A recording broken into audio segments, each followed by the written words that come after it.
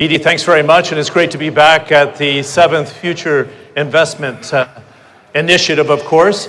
I was listening very carefully to the board discussion today in the speech of His Excellency Yasser Al Rumayyan.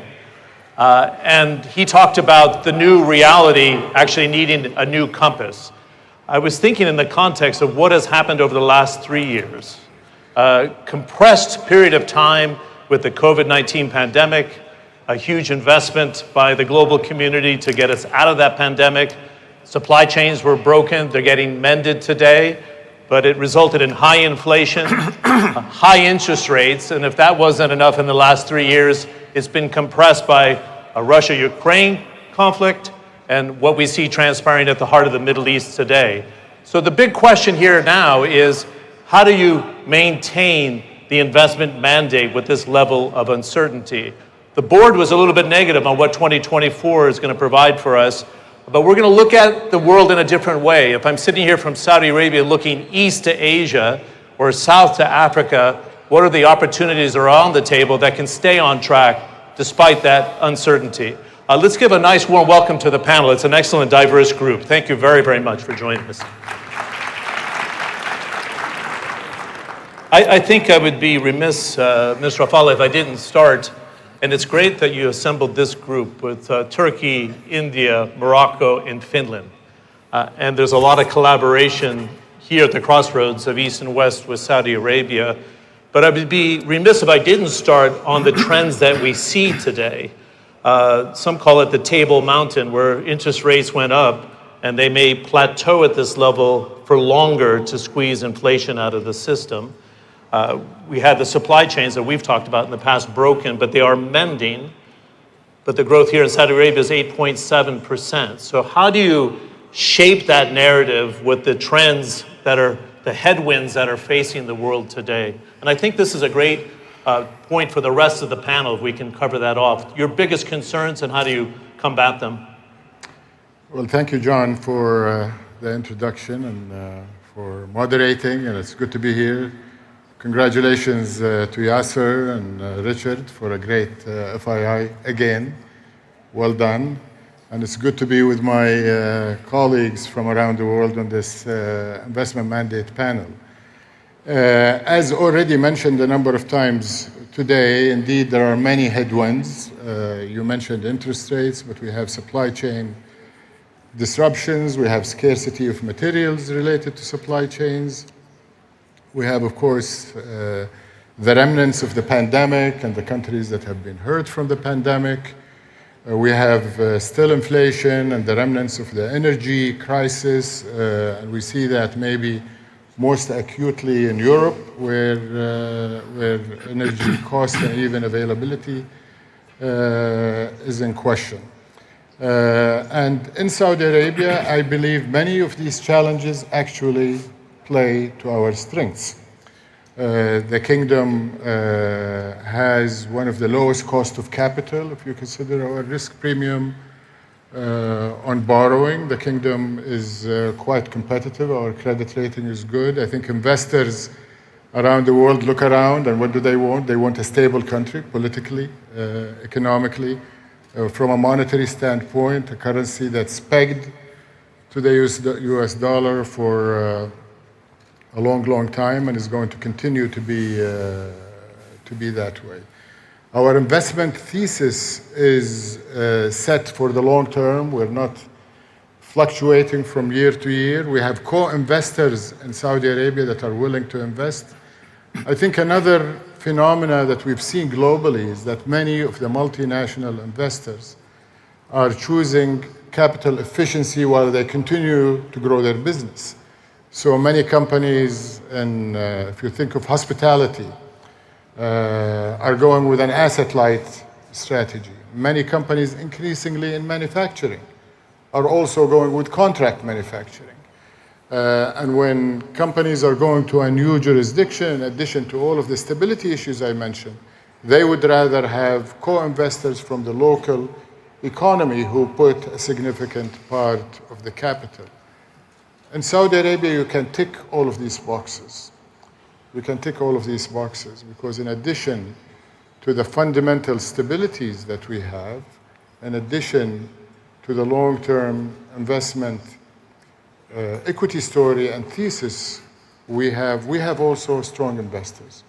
We have strong developmental banks in Saudi Arabia that can lend at very low interest rate that reduces the average cost of capital. And therefore, while we're still impacted by sustained interest rates, and we hope they're not sustained for too long, we hope that tabletop comes back down sooner rather than later. But while it's, it's up, I think it presents investors with an opportunity in Saudi Arabia that is perhaps better than, than uh, many other competing locations. Uh, we'll come back to your national investment strategy, and there was a tripling of FDI in a 10 year window going to 2021, and your mandate now is to make sure it's diversified in the non oil growth we're seeing. But I'll do that in the second round. Um, Burak, uh. Yogyu, nice to have you from the investment office uh, in the president's office. And talk about headwinds because you're looking to perhaps raise interest rates up to 35% now to combat inflation. And uh, Mehmet Simsek, the Minister of Finance, made it very clear uh, we're going to be very orthodox in this approach to restore confidence. Uh, you've been a huge haven for FDI over the last 20 years. It's more than Yeah. 250 billion Sure. dollars. In this environment, when inflation's high and we have the central bank and the Ministry of Finance stabilizing matters, what are you focusing on then for the next stage of growth? Thank you for the question, and I would like to thank all organizers for uh, you know gathering uh, us uh, in this special occasion. So, of course, the monetary stability and the price stability uh, or macro you know, indicators you know, should be stable for such decision-making process. Uh, but more importantly, for the foreign direct investment you know, uh, appetite, we focus on some other topics. You know, we, we accept that you know the stabilization should be there, and we are taking the necessary steps. So, as the country, with what we are focusing on is especially. I'm not going to speak about the sustainability. I mean, this is the core of the all strategies for all investment policies. But as a two main topic, we are focusing on the globally uh, supply chain restructuring. So as you mentioned, Turkey has become a kind of you know, regional hub for multinationals, and you know, Turkish uh, companies are also part of this ecosystem. And we know that foreign direct investors are the leaders of you know, integration to the global value chain. So, so our focus is to make sure that companies in Turkey, both international and locals, uh, because when you establish a company in Turkey, you're deemed as a Turkish company. So we are trying to make sure that they are integrated with the global value chains and they are moving up the value chain. So this is the one aspect of the supply chain issue. Secondly, you know, since we invested heavily in our infrastructure and superstructure in the last two decades under the leadership of President Erdogan, uh, we have quite advantageous position for you know having a more central role in the supply chain you know uh, resiliency. So especially in the post-COVID era, the export growth of Turkey was uh, double digit. You know, for one year it was 35 percent, the next year it was more than 20 percent. So the, the exports are growing rapidly. More importantly, the second topic I think you know I, I like emphasizing on that the local entrepreneurship, especially the technology entrepreneurship. This is kind of you know creating a competitive edge for uh, Turkey. I mean, for the you know the investment perspective, we all know that technology is the I mean, the heart of the new economy, and especially for the foreign direct investors, those uh, startups are becoming a major driver of the FDI inflows to the country. Just to give you numbers and to close it, back in two, uh, ten, uh, 10 years ago, the, you know, the early stage investments to those technology you know, area was like just double digits million dollars. I mean, five years ago, it grew to triple digit million dollars, and as of the last two, two years, it is more than billion dollars just at the early stage. So while they are making, making those exits and etc., it, it is becoming like you know snowball. It's getting bigger and bigger. And uh, I, in the last two years, those technology startups were driver of the one third of FDI inflows to the country. Is it, So the difficult to supply raise, chain- is it difficult to raise money in Turkey now? It's so easy. I mean, all the international venture capitals are quite active, and throughout time we developed our own capital market. I mean, we introduced reg- uh, regulation. It is in line with the European Alternative Direct Investment uh, Directorate, so it is quite a liberal uh, environment, let's say. So I can uh, say that you know the supply chain uh, restructuring and the technology entrepreneurship is the main driver of the investments currently. Okay, good. Thanks very much. Uh, Piyush Goyal, I was, trying to think of the best way to frame your uh, position on the panel today. I would say the bell of the ball, right? Because you have a, a consumer market of 1.4 billion, but you have the presidency in 2023 of the G20. You said something very prescient to me in the green room behind stage. If we focus too much on the negative and the, the conflict here in the region, Russia Ukraine and we don't look for solutions, uh, it becomes a self perpetuating prophecy, right? That you could spiral down. Uh, but you're growing well right now, and you're looking at key sectors to pull in investment. Textiles, you've had a major car manufacturing facility. Uh, Japanese steelmakers have come in. Are they seeing the opportunity now of the, the new India, if you will, in this reform minded uh, process? Thank you, John, and thank you, FII, for this opportunity. India traditionally has gone through a long phase of high inflation and high interest rates. It's only in the last decade that we've finally been able to rein in inflation. Our average of the last 10 years would be about 4.5%, as against double digit inflation barely 10 years ago, 12 years ago. Therefore, a much more stable political environment, decisive leadership.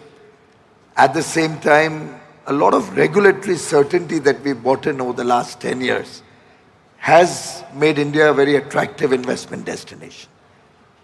We have, over the last 10 years, focused on a three pronged strategy. On the one hand, we set our basic fundamentals of the economy right, whether it's uh, getting growth on track, lower inflation, lower interest rates, high foreign exchange reserves, ensured that uh, tax rates remain low. All the building blocks of uh, a good emerging economy where investors feel comfortable.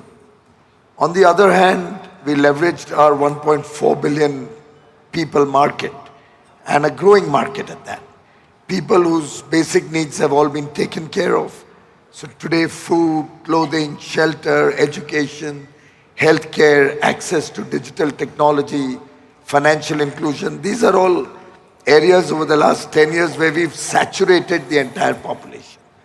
We've made sure everybody has these basic uh, needs that drive human uh, work. And on the third, we focus a lot on infrastructure investments, which has given us lower logistics costs, better competitiveness, both for the domestic and the international consumer. On this three-pronged approach, we believe India will continue to be the fastest growing large economy. Mm. Uh, we heard the figures of Saudi Arabia, very impressive. I wish we had a little bit more pools of oil in our country. Uh, but we are leveraging our managerial talent, we are leveraging the skill sets of our people, the huge demographic dividend, and under 30 population, our average age is under 30, expected to be under 30 for the next 30 years. And we hope to add a $30 trillion more to the Indian GDP in less than 30 years from now. So that's the India story that's attracting investments, that that's attracting people from all over the world who see that coupled with the domestic demand, when we look at our competitiveness on the international stage, India is the place to be.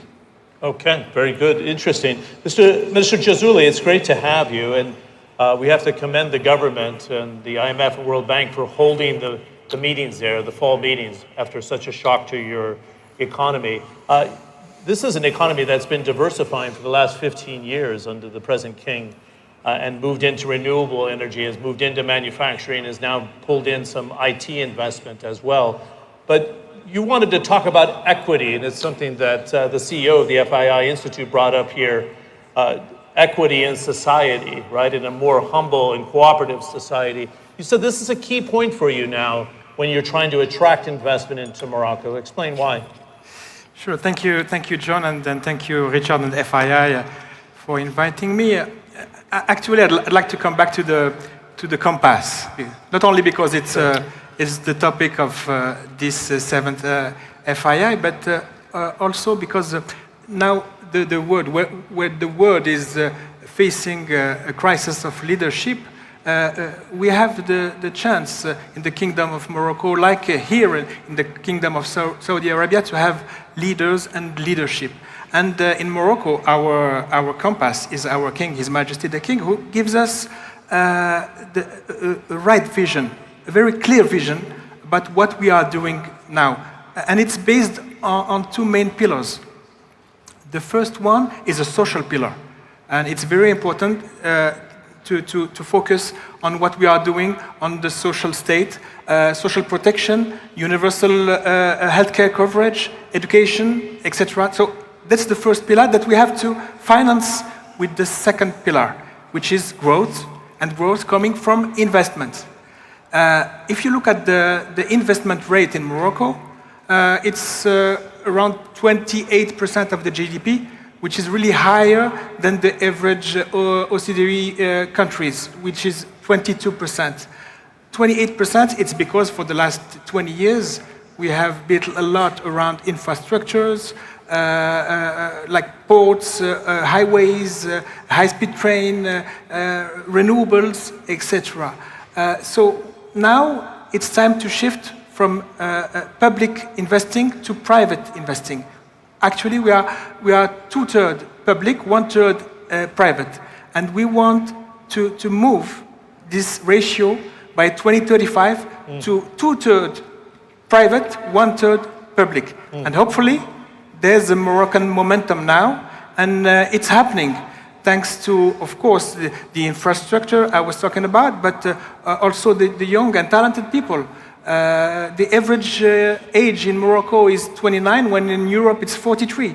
Uh, we have also uh, affordable, uh, available renewables. and we have also a market. We are, of course, 40 million consumer, but we are bigger than India in terms of consumer, as we have free trade agreements. we have 2.5 billion consumer thanks to the 50 plus free trade agreements that, that we are having. So uh, we are focusing on those investments, and uh, we have some success stories, mainly in automotive. We are the first uh, uh producer, car producer in Africa, first exporter to Europe, and uh, also in automotive. Uh, there's no single plane that flies in the sky that doesn't have a part made in Morocco.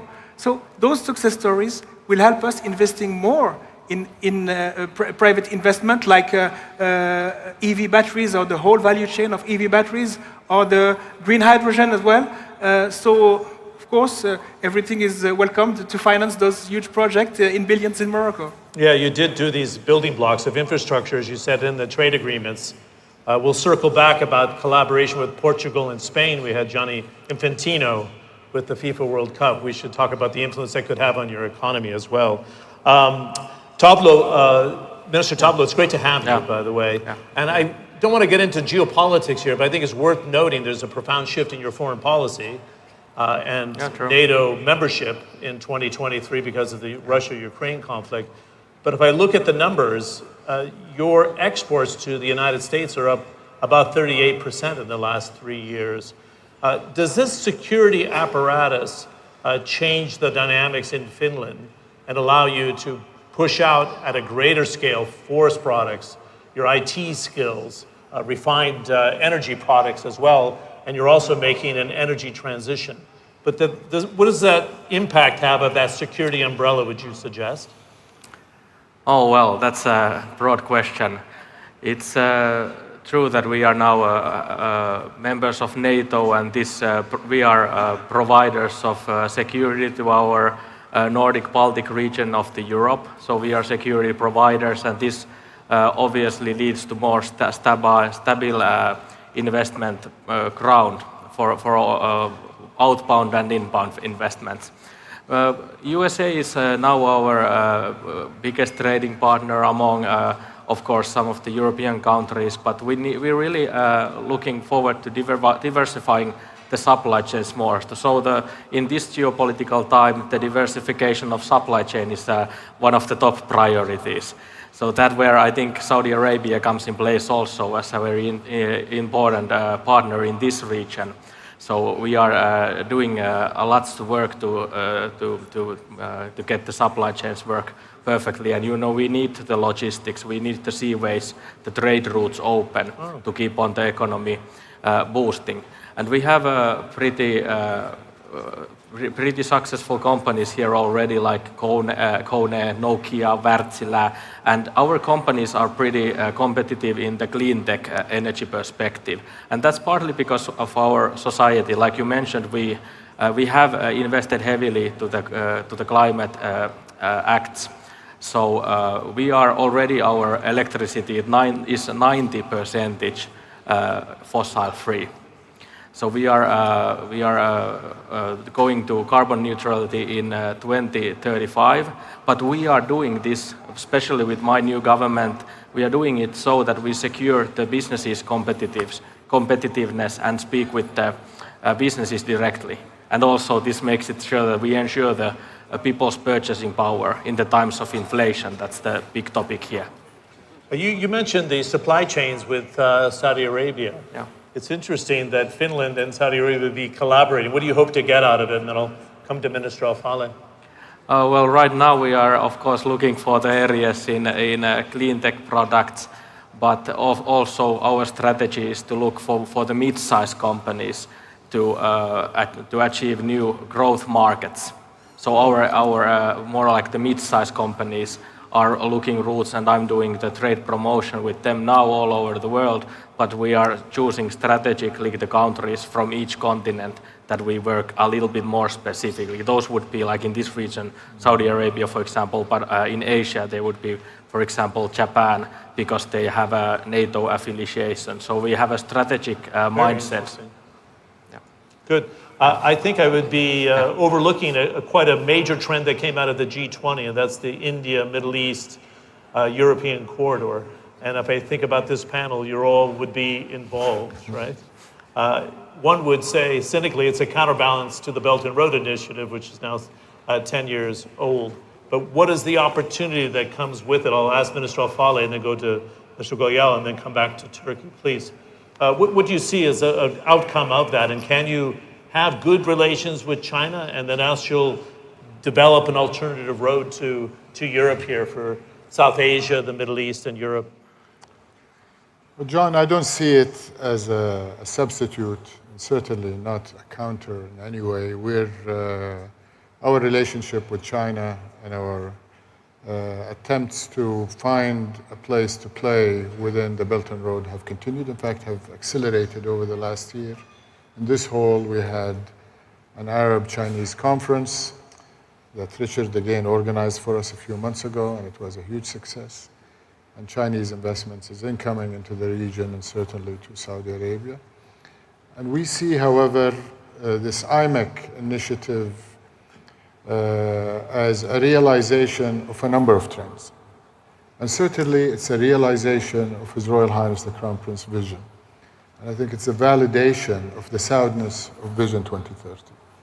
One of the anchor themes of Vision 2030 is capitalizing, not just for the kingdom, but for the rest of the world, our unique location as a crossroads between Asia, Africa, and Europe, and as a hub for trade and connectivity. And connectivity is no longer simply in the important trade of goods, but it's also in the trade of services, people travel, as well as, of course, the ever more important digital uh, connectivity. Uh, IMEC also is a realization of the hard fact we learned from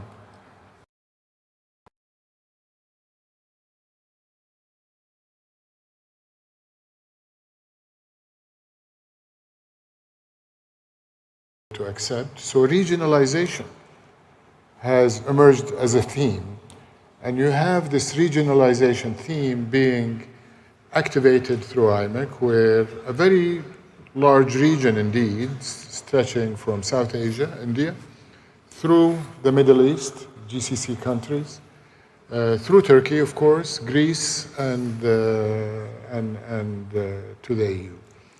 Uh, and of course, brings together, I think if you look at the countries around this, from what we heard around around the panel, we're all like-minded in our business orientation and the relationship we have between government and the private sector in terms of how we provide the investors, owners of capital, corporates that have IP, that have markets, that have brands, places to invest comfortably knowing that they are going to be protected uh, and looked after. So it threads together these countries that are strategically aligned and, uh, uh, and like-minded. It addresses emerging sectors that the world, no matter what the risks and cost of doing business, some sectors, and perhaps I should have said this to answer your first question, some sectors have to grow and have to grow rapidly. So, uh, greening uh, of uh, energy consumption, greening of manufacturing, greening of logistics, which involves bringing in new fuels uh, and uh, electrification as part of that green. So, connecting countries like India and Saudi Arabia despite the distance and the depth of the oceans, connecting through submarine cables is something that we're very seriously considering, just as we're considering connecting with Europe, not only on the data cable that has been already set in construction with Europe through uh, Cyprus and, uh, and Greece, but also through electrification. But bringing hydrogen shipped in its different way, maritime, ports, that are linked together through, uh, through technology, and then, of course, through the data cables I mentioned, unleashing the connectivity uh, of, uh, of data analytics, uh, AI,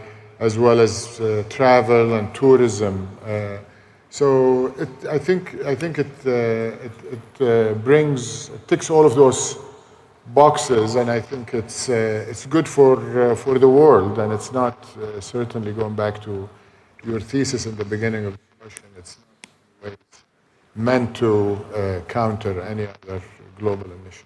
Good. Uh, the G20 is a, a, difficult structure, as you know, Minister Goyal. Uh, sometimes you don't get anything out of it, but this is a very solid communique. we have this corridor set up. Uh, how does India straddle this investment horizon, right? Because you haven't expanded BRICS to 11 just before the G20. Uh, so if I look at it, it seems like uh, massive complexity. How do you create opportunity out of this complexity that we're faced today when it applies to investment? John, I think it's all about trust. The operative word here is how much do we trust each other? Hmm. And what Prime Minister Modi has been successful in doing is building up trusted friendships and partnerships with countries across the world. During the G20 presidency, there were very, very complex situations, concerns around getting an outcome document, particularly since the war continued in uh, Ukraine, the conflict with Russia. But India's stand has been very consistent that dialogue and diplomacy is the only way forward. This certainly is not an era of war. And I think that resonates with the rest of the world on both sides. And what Prime Minister Modi was able to do was generate the confidence amongst all the member countries of the G20. Now, the expanded G20, we are really proud to have the African Union as a member of the G20, reflecting the voice of a large section of humanity which was left out earlier. And I think uh, the fact that everybody was very keen to find solutions to the problems of the world rather than just go around a conflict or go around a problem statement. Focusing on the positives, focusing on the good that humanity can benefit from out of the G20 helped come up with 112 outcomes and complete consensus. There was absolutely no disagreement on any paragraph. And uh, probably one of the most successful G20s, which went around the country, which saw India blossoming from the old times into an emerging new powerhouse, a country that's coming out of the shadows of the past, embracing modernity, embracing technology, in fact, at the forefront of technology today. And I think uh, we really are grateful to all the members of the G20 for their positivity in wanting to support the Indian G20 presidency and coming up with significant outcomes, which we hope uh, will go forward. The Brazilian presidency has committed to take forward many of these initiatives. All our member countries and friends are, let's say, conspiring to make the world a better place to live in.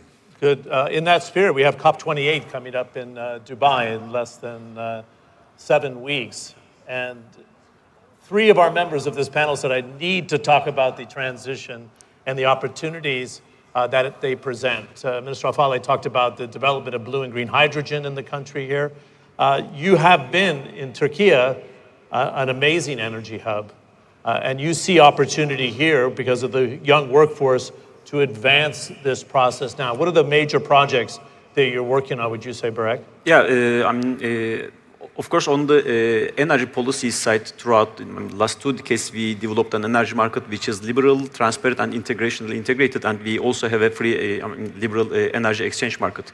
So currently, we have a kind of you know installed electricity generation capacity of 100 gigawatts, and 55% is coming from renewables. So we have some bases. Mm. So um, the wind uh, for solar, we have already some bases, and throughout those you know uh, decades, uh, we also implemented policies to make sure that the manufacturing of those equipment are also localized. And uh, for the next, I mean, the future, uh, I mean, agenda, we have definitely uh, green hydrogen and green ammonia, and uh, definitely uh, the SMR technologies. So for the nuclear, you know, small and medium-sized uh, reactors. On the battery sto energy storage side, I think to, to have more renewable capacity, you must have base load or storage capacity, and uh, we have been uh, investing in the uh, factories for the batteries, and you know we have some projects on the hydraulic storage, and if you consider hydrogen as a way of storing the energy, we have that as well. So, but you know what we see, uh, these, you know, ESG or you know, sustainability is not a solo game. So we are much more focusing on the international collaborations actually which you know brings me to the, the, more comprehensive concept. Since we are talking about the new compass here, thanks to Richard and you know his uh, colleagues, we have to recalibrate our uh, compasses. So uh, we cannot uh, achieve those sustainability targets, but you know just countries, single countries alone. And I would like to give one example with you know, our relations with Saudi, for example. So in the last recent uh, decade with MISA, we have been collaborating on you know, creating synergies between two countries. They also have some ambitious targets for the green energy and localization of the manufacturing of the equipment. We have some bases and uh, we are working on such collaboration areas. And it is not just limited to energy. So we can you know, expand it to the uh, tourism investments uh, or some other manufacturing investments. So our focus, you know, as investment decision makers or practitioners, uh, we have to focus on not the competition only, because traditionally we have been competing on you know, uh, those you know, projects to get them to the countries, but we have to focus on the new complementary areas. In my opinion, in this fragile, you know, volatile global environment, the companies, investors, I mean, it can be corporate, multinationals, sovereign wealth funds, fund managers, they are looking for wider regions of economic stability. And as the decision makers, we have to focus on the areas that how we can grow the bilateral investments and how we can you know, enable a larger economic uh, stability area. So this should be our uh, new compass, in our opinion, and it shouldn't be limited to just energy. Yeah, it's, well, it's also the, the Finnish minister brought up the same thing. We have to look for commonalities for uh, partnerships, which is an interesting theme emerging from the panel that I was not expecting. Mr. Jazouli, you talked about the development of wind and solar in Morocco. Uh, Mr. Al-Falih and I had a chance to talk about the pipeline network that's being built, hopefully completed, like the Trans uh, Saharan, right, that would come through Morocco into Europe for natural gas from Africa. So you're strategic, very much like Turkey, as an energy hub. But you're also pointing to the future in electrification, particularly for battery development here. Uh, that's quite unique for Morocco to be focused on that area. Is that an extension of the work you've done in the automobile sector? Actually, it's uh, once again, it's a matter of compass, leadership. Uh, 15 years ago, there was a bet in Morocco, uh, a bet on renewables uh, for ecological reasons, of course, but also for economic uh, reasons. We don't have any fossil fuels uh, energy. So we, we, we invested a lot in renewables. so we have today almost 40% of our energy mix coming from renewables, and we are targeting 50% by 2030. Uh, this is not because uh, we have the best irradiation, uh, sun irradiation, or best uh, wind exposure, but because we have the best combination of both. And today it's very important when you need intermittence, when you need regularity, it's important that you have uh, the, the, very good combination between both. That's the reason why a lot of uh, people are now looking at Morocco uh, and mainly when uh, you are uh, now moving the, the, the, value chain from Asia and close to Europe after what's happening in, in, in Ukraine. we, we need, and Europe is decarbonizing, so we need to have those uh, uh, renewables, and we are now betting a lot on EV batteries, for instance, because they need the renewables, as we are investing a lot in green hydrogen. Uh, in EV batteries, uh, uh, we have commitments for like more than 40 billion dollars in the, the different uh, uh, parts of the value chain of the, the, the, EV battery because as you know there are a lot uh, of parts in the EV battery so we are now working on, on this very important sector as well as the green hydrogen because we are one of the main off-takers of green ammonia as we have uh, the phosphate. So to, to, if, if you uh, mix the phosphate uh, with the green ammonia, then you can feed the planet. So uh, at the same time, we are working uh, uh, to link Morocco with the Europe, mainly UK, Uh, with the huge uh, HVDC wire. It's uh, high voltage wires that can link Morocco to, to, to, UK. So there are a lot of investment in, in green hydrogen. we can count 10 times what I, I, said about EV battery, almost $400 billion in investment in, uh, uh, in green hydrogen. So, of course, uh, there, there's a room for project finance, there's a room for from private equity, and, and so on and so forth. So, uh, we'll be more than happy to come again and uh, uh, talk about the success stories. Thank you very much. We only have two and a half minutes left, and I think we should address the elephant in the room. I don't want to sit down for FII number eight in the autumn of 2024 and say, wow, you guys didn't take out that compass and how to navigate the disruption. Uh, we have a major conflict in the Middle East. We've been living with turmoil for, what, over 20 months now with Russia, Ukraine. Minister Al do you want to wrap up of how do you take the compass out and navigate uh, not just the investment landscape, but to maintain stability and to be able to continue and finish that Vision 2030 that you talked about? Well, I think since you brought up the elephant, the overwhelming thoughts that I have and that I'm sure everybody in this room have is sympathy with the innocent victims that are uh, suffering, dying, losing loved ones as a result of these uh, conflicts. And I think that overshadows everything else. But for their good and for the good of humanity, we have to keep the compass focused on prosperity of our people uh, as countries, as regions, as we talked uh, just now, but indeed for, for humanity. Uh, so, uh, you know, the focus is addressing uh, all of the risks and ills that have been discussed by building resilient economies. And I can tell you that in Saudi Arabia, it is a fact that we live in uh, a region that has had its share of conflicts and risks over uh, the last many, many decades. Uh, and we have the wisdom of uh, our leadership that has built resilience uh, in everything about Saudi Arabia, whether it is security, economy, our fiscal position, our financial policies, uh, our supply chain. So we have seen shock after shock globally and regionally pass through and it does impact us, uh, but a lot less than those uh, unprepared uh, nations uh, and economies. So we're going to uh, build on that resilience that we have. We're going to turn challenges into opportunities, whether it's the macro trends we started the session with or the specific issues that will emerge uh, out of the conflicts in Europe and the Middle East, uh, elsewhere uh, in the world. And we have to do it by investing in our people. I think our most important resource, after all, is not going to be our important oil resources or natural resources and the critical materials that are available or even our location. It's our people. So investing in our youth investing in entrepreneurship, innovation, technology, and finding solutions for that. And I think just as important, investing in partnerships with friendly nations, uh, many companies that have their trust in Saudi Arabia that come back to the kingdom every opportunities that that we have not only to attend global gatherings like the FII, but indeed to put their money where their mouth is and invest. And if I had more time, I would tell you great news about how FDI is turning up in Saudi Arabia year after year, and we're moving as a top 10 FDI attraction nation. With the goal to be a top 10 uh, economy as well. We, we're getting there, inshallah.